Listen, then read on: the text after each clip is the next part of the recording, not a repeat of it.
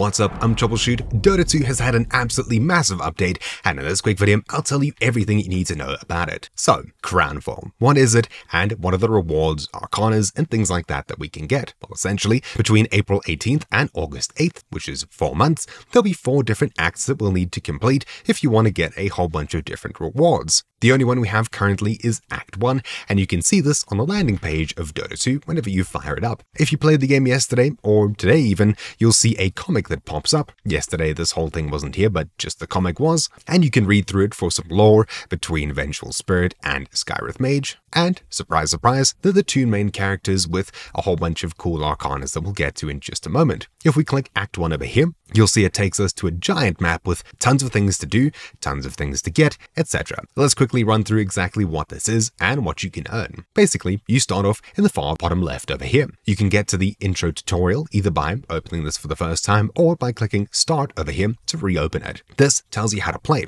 Basically, you complete Dota games to earn tokens, then with those tokens you can unlock different rewards, and you can avenge or I suppose complete your way through this by following the entire path. Throughout there's tons of different story and comic-like chat, but of course if you're not too interested in that, you can just spam click through it. Anyways, you start off in the bottom left here, you play a Dota game, and you progress by collecting different tokens. At each point, you'll get a different award like coins, double down tokens, different emoticons, and chat wheel things, etc., all the way throughout the game until we get all the way down here to the finish line where we get an Invoker Arcana. This is pretty cool and one of the earnable rewards, but we'll get there in just a minute.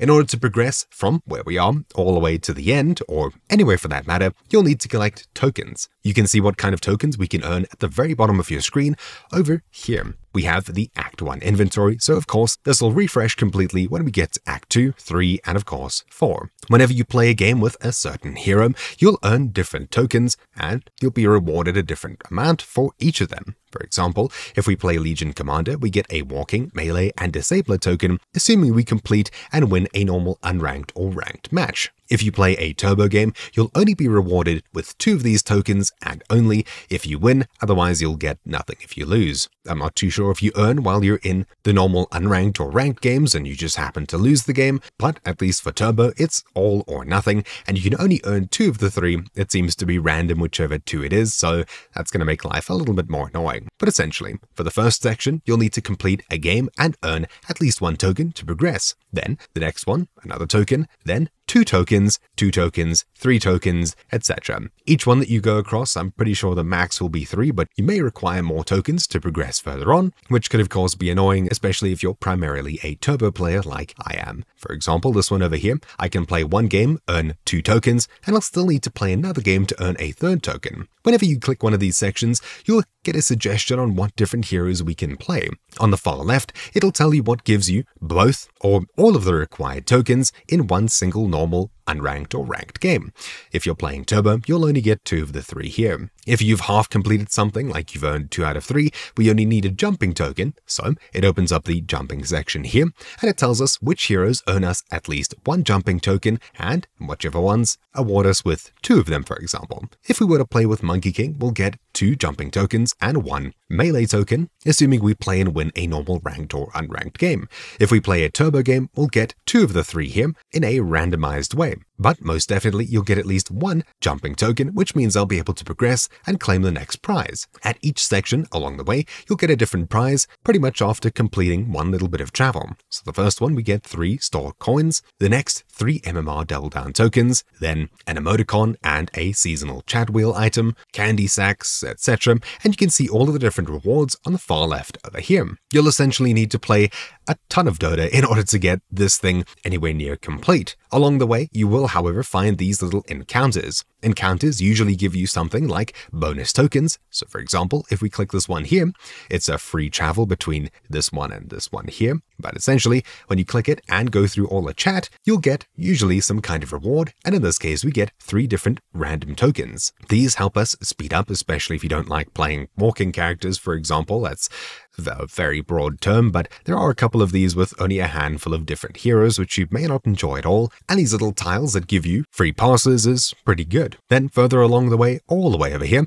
you'll reach this purple section. This section requires the Pathfinder pack in order to progress into and get a bunch of rewards. Of course, the paid for section has some pretty good rewards like a Crownfall Treasure 1, another Treasure 1, and a Treasure 2. And at the middle right over here, by the second section, we get access to a bunch of different things, including an Invoker Arcana alternate style, and at the very bottom, a Arcana Blade for Riki. This is cool, but of course, you'll need the paid Battle Pass in order to get these different sections. Along the way, you'll also find different random rewards, such as loading screens and things like that, and more important places like the Candyworks Caravan over here, where you can trade some candy that you earn along the way for arcanas, skins, and things like that. I'm not too sure what's in the store, but essentially, you'll get a couple of items that you can choose between what you want to buy, and assuming you buy the actual pass, you'll get the ability to re-roll whatever you have in that caravan shop. On this map, there's one, and in the paid section over here, there's another caravan looking thing that's a mysterious encounter,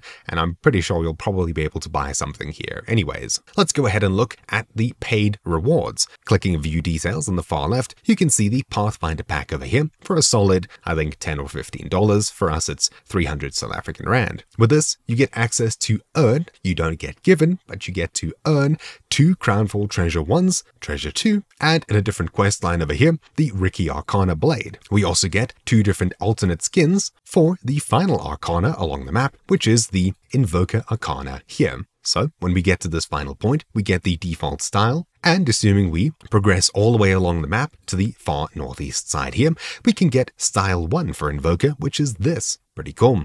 If you decide to buy the Battle Pass or Pathfinder pack, you can get access to, all the way up here, the second Invoker Arcana, in the far right over here, the third Invoker Arcana. But that's not the only Arcanas available throughout this whole quest line. The one thing you'll be collecting is coins. It doesn't really explain what these are, except for when we go to the shop over here, so Crownfall store at the very top, and we have a look at the two main Arcanas for this whole event, Vengeful Spirit and Skywrath Mage. These two Arcanas can be purchased for real money, so for us it's 600 Rand. It'll probably be around, I don't know, 30-ish US dollars, maybe a bit less, and you get access to one of the Arcanas here, so either the Skywrath Mage or Vengeful Spirit, or of course both of them if you choose to spend quite a bit of cash. In the far top right, you'll see this little coin meter, and hovering over it, it tells you that you can trade 10 coins in-game for a discount or a coupon on one of the Arcanas here. So if I trade 10 coins, I'll get 150 bucks off one of the Arcanas here, which is pretty good, but that still means that we need to spend some money or earn a huge amount of coins to perhaps earn another coupon code. I don't think they stack, but anyways, in Act 1, you can earn 15 coins through the free path and an additional 10 throughout the Midgate Pathfinder pack which is the paid pack, once again covered over here. Let's quickly have a look at the different arcanas. We have the normal Vengeful Spirit arcana here, then we have the second version here, and the third version. These two are unlocked throughout the whole event. For example, this second version here we'll get when we complete the main quest in Act 4. So the main quest in Act 1, for example, is all the way on the far bottom right, this little finish point over here. When we get to that point in Act 4, we'll get this skin unlocked for us, assuming we've bought this Arcana over here. In the future, probably you should be able to progress throughout the whole thing, and assuming you reach all your goals, purchase it afterwards, and you should get access to it as when we unlock this section of Act 4, should get access to this Arcana. On top of this, the third version over here requires us to finish all main quests and all side quests for all four Crownfall acts. That's everything on this page here, and everything within this. That's a huge amount of Dota that you need to play, and I don't think there's an easier way to get through this other than just playing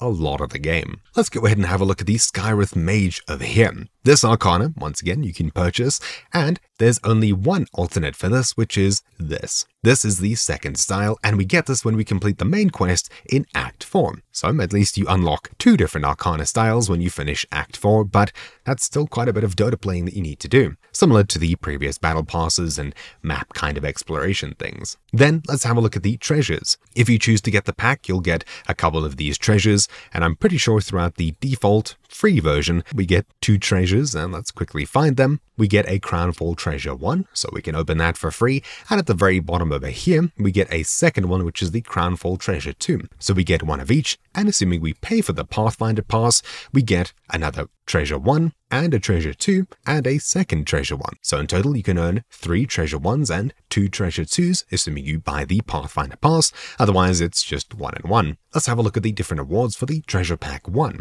If we view Treasure and head all the way across to the first one, we have a normal Bloodseeker skin, Jakiro, Lina, Disruptor, Nature's Prophet, which comes with a model, which is the Treants over here, Legion Commander, Queen of Pain, Shadow Shaman, and now we get onto the rare ones. For the rare one, we have a Wraith King and a Silencer over here. Beyond this, we have very rare, a Chicken Meepo. This is actually super cool. And for this, we get a Taunt, which is also pretty good as well. For the ultra rare, we have a Crystal Maiden over here. And finally, a cosmically rare Courier. This is also super cool.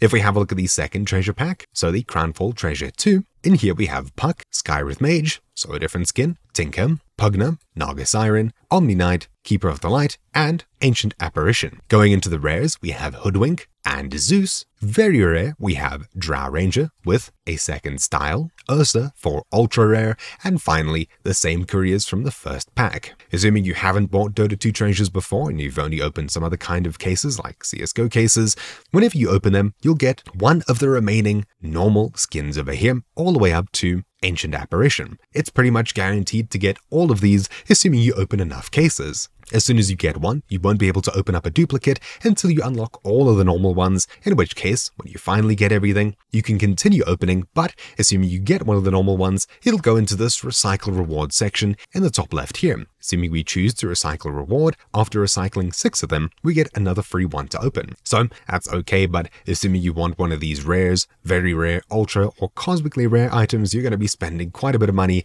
if you're not that lucky. This, of course, is no different to practically any of the other treasures here in Dota 2. Then finally, the Crownfall Royal Bundle. This allows us to get 30 Candy Sacks, 10 Candyworks Caravan rerolls, and 20 MMR double tokens. So this is essentially a bunch of cash that you can use in the in-game item shops when you eventually reach the caravan, which the first one is located over here. And with that, you can buy hero sets, couriers, wards, arcanas, and other items. This is where rerolling comes in. You get 10 reroll tokens with this, and you can reroll the shop to hopefully buy something that you were hoping for or something better than what you're offered. Then finally, the MMR Double Down tokens. If you've never used these before, essentially when you earn them, such as the first one over here, when you play a ranked game, so ranked, you'll be able to wager twice the amount of MMR, meaning if you win, you'll get double the reward and much more MMR, or if you lose, you'll lose a lot more MMR. You're basically doubling your win or loss at the end of the game by predicting at the very start, so there'll be a button somewhere nearby the predict button,